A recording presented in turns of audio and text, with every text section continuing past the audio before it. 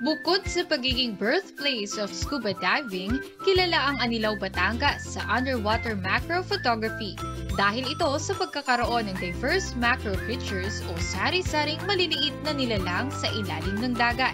Kaya naman, underwater macro photographer's haven din kung ituring ang Anilao. Anilao, no, it's a, truly a special, special place. It's number one, has one of the highest, if not the highest, marine biodiversity.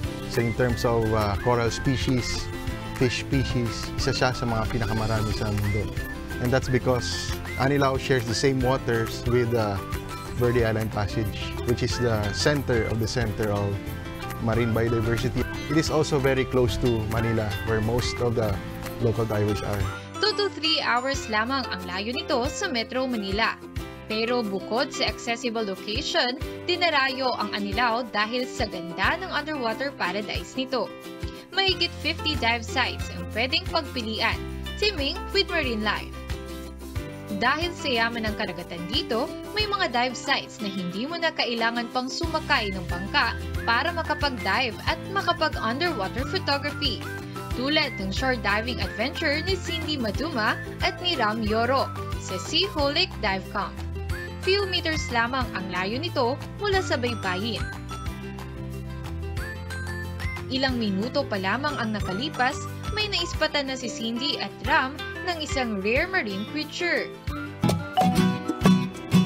we went looking for macro stuff. no? While trying to look for the really, really small stuff, uh, we came across this uh, unique animal, unique critter, the flasher scorpion fish. Anilao, there's so many scorpion fishes around, but not quite like the flasher scorpion fish. Medyo uh, rare siya. Isa lamang ang flasher scorpion fish na ito sa sari-saring rare marine species na makikita sa Anilao.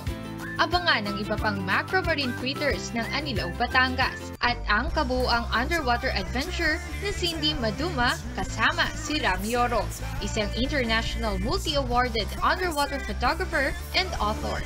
Ngayong linggo, kasama ang inyong diving buddy, The Dive, on its new chapter of Making Waves Beneath.